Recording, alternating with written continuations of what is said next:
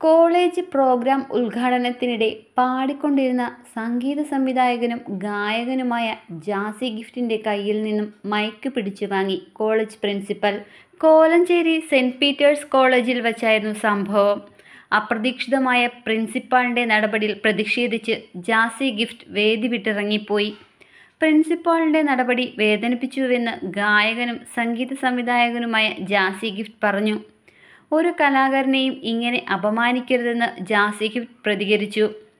പാട്ടുകാരനൊപ്പം chorus പാടാൻ ആളുകൾ എത്തുന്നത് സാധാരണമാണ്. എന്നാൽ ഇക്കാര്യമൊന്നും നോക്കാതെ പ്രിൻസിപ്പാൾ തന്റെ കയ്യിൽ നിന്നും മൈക്ക് പിടിച്ചു വാങ്ങുകയായിരുന്നു. കൂടെ പാടാൻ വന്നയാളെ ഒഴിവാക്കണമെന്നും ആവശ്യപ്പെട്ടു. ഒപ്പമുണ്ടായിരുന്നത് ഗായകൻ സജിനായിരുന്നു കലാകാരൻ എന്ന നിലയിൽ ഇത് അപമാനിക്കലാണെന്നും ജാസി ഗിഫ്റ്റ് കൂട്ടിച്ചേർത്തു.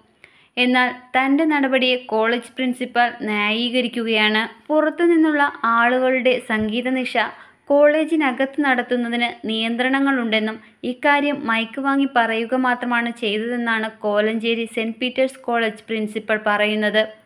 കോലഞ്ചേരി സെന്റ് പീറ്റേഴ്സ് കോളേജിൽ കോളേജ് ഡേ പരിപാടിയിലെ മുഖ്യാതിഥിയായിരുന്നു ജാസി ഗിഫ്റ്റ്.